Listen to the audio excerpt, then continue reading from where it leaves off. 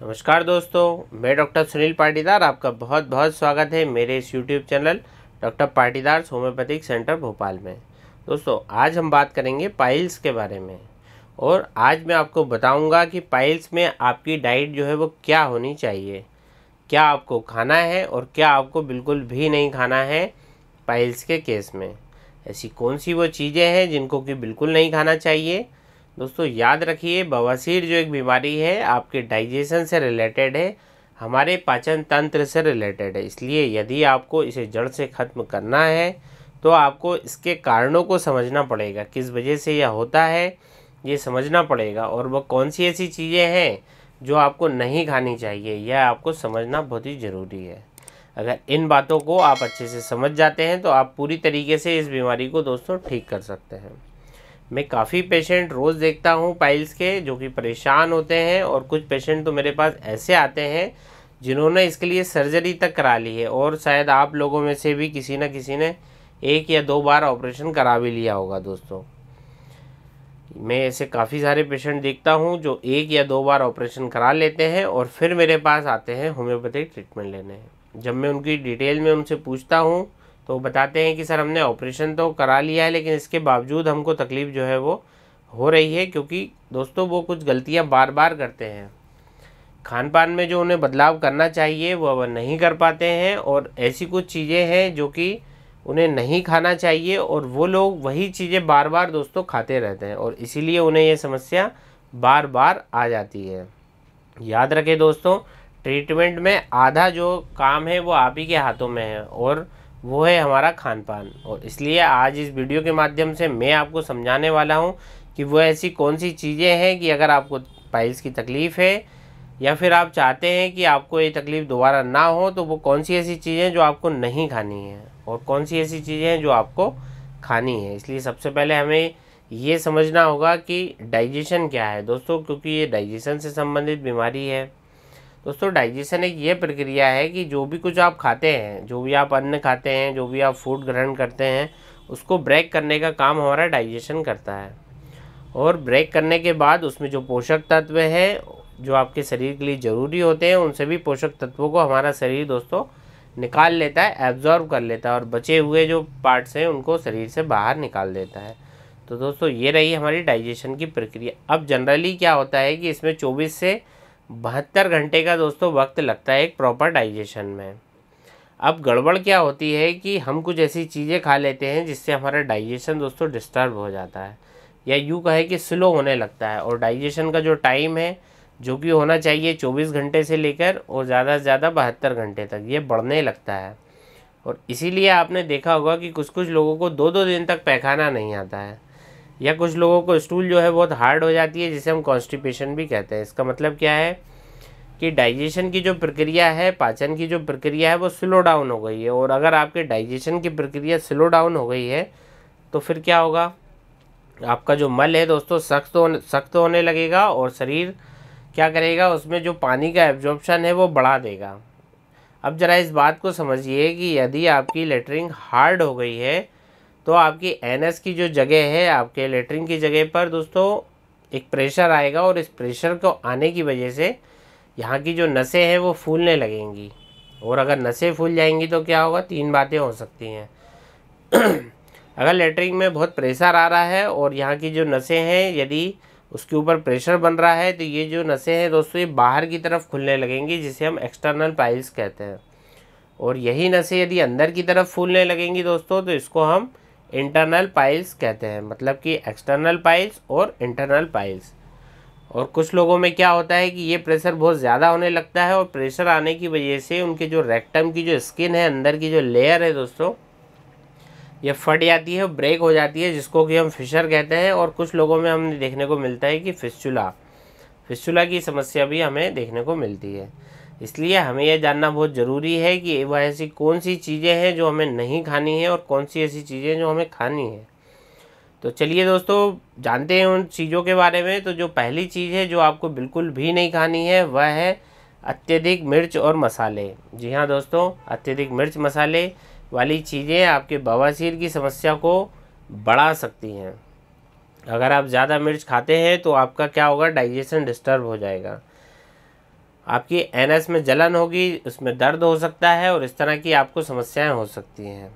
तो यदि आपको आदत है कि आप बहुत ज़्यादा तीखा खाते हैं, मिर्च मसालों का अत्यधिक मात्रा में इस्तेमाल करते हैं दोस्तों तो आपको अलर्ट हो जाना चाहिए। इन्हें तुरंत आपको कम कर देना चाहिए, अपनी आदतों में बदलाव करना चाहिए। एक और दूसरी बात आपको याद रखनी है दोस्तों, जो कि बहुत ज़्यादा देखी जाती है कि लोग बाग बाहर की चीज़ों को बहुत ज़्यादा खाना पसंद करते हैं। जैसे कि काफ़ी पेशेंटों में मैं देखता हूँ कि जिनको पाइल्स की समस्या है, उनमें से काफ़ी जो एक पेशेंट है, उनकी आदत हो जाती है कि जब भी वो बाहर जाते हैं तो बाहर ही अपना ब्रेकफास्ट करते हैं। कुछ काम की वजह से बाहर जा रहे हैं तो वो नाश्ता अपना बाहर ही करेंगे। दोस्तों, ऐसा बिल्कुल भी नहीं करना है। घर का आपको खाना खाना है। आपको समोसे, कचौरी बड़ा पाव, ऐसी तली हुई चीज़ें दोस्तों, जो बाहर मिलती हैं नाश्ते के रूप में, वो आपको नहीं खानी है। इसके अलावा तीसरी चीज़ जो आपको ध्यान में रखनी है वो है कि हाई फैट या तेल वाले पदार्थ स्पेशली तेल वाले पदार्थ, जिसमें कि बाहर के जो दोस्तों खाद्य पदार्थ होते हैं, उसमें जो तेल यूज़ होता है, उसमें एक ही कढ़ाई में उसको बार बार बार बार उसी में वो तलते रहते हैं। इस तरह के तेल से क्या होगा दोस्तों, आपका कब्ज़ ये बढ़ जाएगा और आपके पाचन को ये स्लो कर देगा। पाचन स्लो होने से आपको अगेन कब्जियत की शिकायत हो जाएगी कॉन्स्टिपेशन हो जाएगा।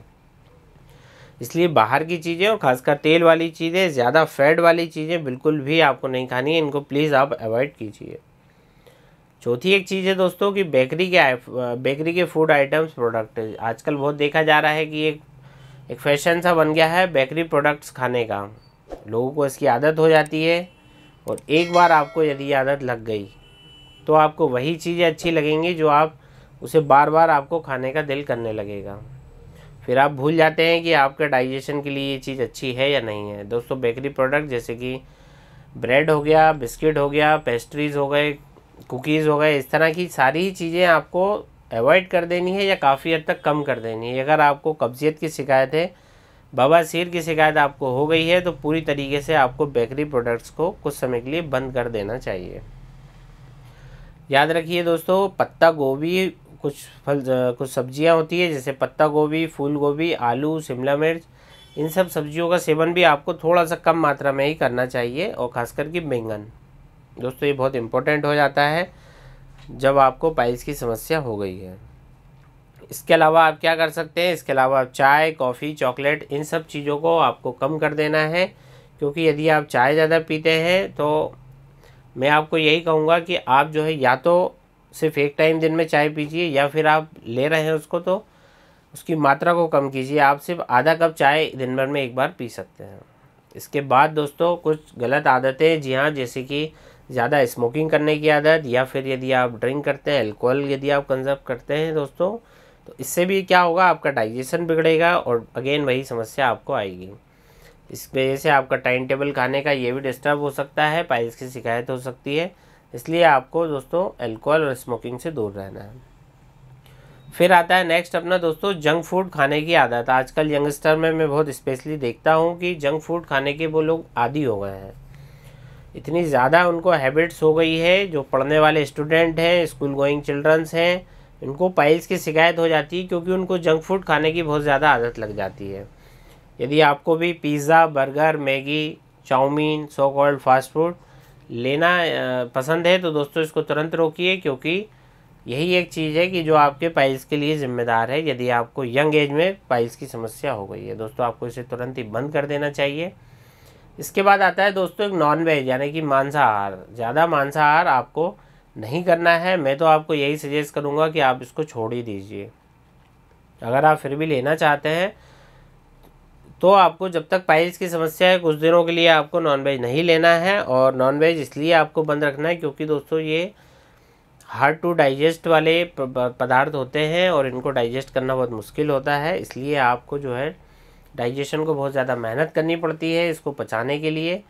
इसलिए आपको इसको अवॉइड करना है ताकि आपको कॉन्स्टिपेशन ना रहे और पाइल्स की समस्या ना रहे। दोस्तों, अब बात आती है कि आपको आखिर क्या ऐसा करना चाहिए और क्या ऐसा खाना चाहिए, वो मैं आपको बताता हूँ। क्योंकि अभी तक अभी हमने जो बताया है, वो ये बताया है कि क्या क्या चीज़ें आपको अवॉइड करनी है या जिनकी मात्रा आपको कम करनी है। अब हम बताते हैं कि ऐसा आप क्या कर सकते हैं, क्या ऐसा खा सकते हैं जो आपके लिए फ़ायदेमंद रहेगा, आपके पाइल्स फिसर, फिसुला और डाइजेशन की तकलीफ़ों के लिए। दोस्तों सबसे पहली हैबिट जो कि आपको ध्यान देना है वो यह है कि खाने के बाद आपको लेटना नहीं है। कई लोग ऑफ़िस से लेट आते हैं, खाना खाते हैं और वहीं के वहीं तुरंत लेट जाते हैं। ऐसा आपको बिल्कुल नहीं करना है और कम से कम दो घंटे। दो घंटे खाना खाने के बाद आपको लेटना नहीं है क्योंकि यदि आप ऐसा करते हैं तो आपकी जो आते हैं, इनकी जो मूवमेंट है पेरास्टाल्टिक मूवमेंट है, ये स्लो हो जाती है जिससे कि खाना पचता नहीं है। दोस्तों इसके अलावा आप क्या कर सकते हैं? इसके अलावा आपको पानी का अत्यधिक मात्रा में सेवन करना है। पानी आपको बहुत ज़्यादा पीना है और ज़्यादातर आपको जो खाना है, वह है आपको सलाद खाना है। सलाद को आप ले सकते हैं क्योंकि इसमें रिच मात्रा में फाइबर्स होते हैं। थोड़ा सा मैं फाइबर की थ्योरी आपको बता देता हूँ कि फाइबर यानी कि आपके डाइजेशन को पचाने के लिए जो एक इम्पोर्टेंट पार्ट होता है, वो होता है आपका फाइबर्स। डाइट में जितना अच्छा फाइबर्स रहेगा, उतना अच्छा डाइजेशन होगा। फाइबर्स क्या करते हैं दोस्तों? स्टूल को हार्ड नहीं होने देते हैं।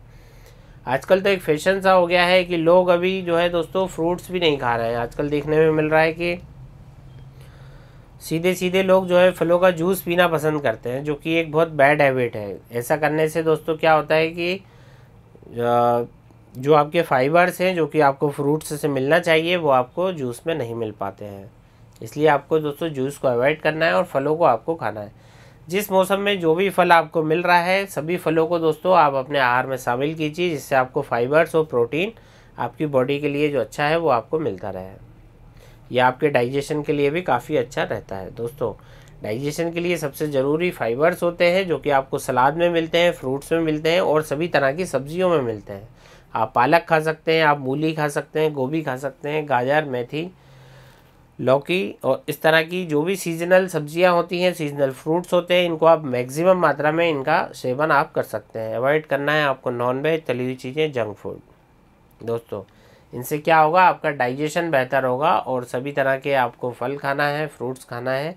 इनको बहुत ही आप अपनी लाइफ स्टाइल में दोस्तों ज़रूर से सम्मिलित आप कर लीजिए। आपको एक पार्ट बना लेना है अपनी लाइफ का कि ये चीज़ें हमें करनी है यदि आपको पाइल्स की समस्या है।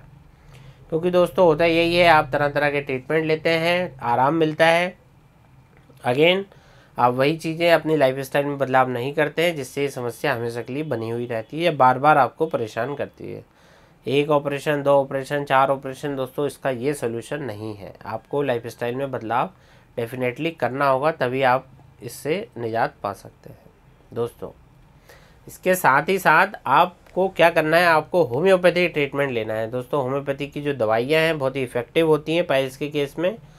और इस बीमारी को जड़ से मिटाने के लिए होम्योपैथी की दवाइयाँ काफ़ी कारगर होती हैं। मैंने हर डिसीज़ के ऊपर, दोस्तों, मैंने पाइल्स के ऊपर, फिशर, एसिडिटी, इंडाइजेशन, कब्ज़ और तरह तरह के डाइजेशन से संबंधित बीमारियों के लिए वीडियोस अपलोड किए हुए हैं। आप उन वीडियोस को देख सकते हैं, यदि आपने अभी तक नहीं देखा है। साथ में आप कर सकते हैं मेरे चैनल को सब्सक्राइब ताकि ऐसी ही हेल्थ रिलेटेड अपडेट्स आपको मिलती रहे और अभी तक आपने चैनल को नहीं सब्सक्राइब किया है तो प्लीज़ सब्सक्राइब कर लीजिए। बेल आइकन की बटन को भी प्रेस कर दीजिए। हम लाइव सेशन भी करते रहते हैं। वहाँ आप अपने सवालों का जवाब हमसे क्वेश्चन कर सकते हैं, जवाब पा सकते हैं दोस्तों। मैं उसकी पूरी कोशिश करता हूँ कि सबको मैं रिप्लाई दूँ। दोस्तों, आशा करता हूँ वीडियो आपने पूरा देखा और इस विषय में आपको पूरी जानकारी इससे मिल गई होगी। दोस्तों, आप अपना खुद का इलाज भी इससे कर सकते हैं, अपनी डाइट और लाइफस्टाइल में बदलाव करके। इसके साथ में आपको दोस्तों सेल्फ मेडिकेशन नहीं करना है, आपको डॉक्टर से सलाह लेनी है। होम्योपैथिक मेडिसिन बहुत ही इफ़ेक्टिव होती है, इस बीमारी को जड़ से ख़त्म कर देती है। आप मुझसे भी कंसल्ट कर सकते हैं। और मेरा जो नंबर है क्लिनिक का एड्रेस है डिस्क्रिप्शन बॉक्स में दोस्तों मैंसनड है, आप उसको देख सकते हैं। आप हमें फ़ोन लगाइए। हम आपको आपके घर तक दवाइयाँ भेजेंगे और आप ताकि इन बीमारियों से निजात पा सकें। दोस्तों, आशा करता हूँ कि वीडियो आपने पसंद आया होगा, आपने इसको पसंद किया है और आपकी कोई कमेंट्स है, कोई क्वेरीज़ है जो आप हमसे पूछना चाहते हैं, आप नीचे कमेंट्स बॉक्स में भी पूछ सकते हैं। दोस्तों, इसी तरह मुझसे जुड़े रहने के लिए आपका बहुत बहुत धन्यवाद। नमस्कार।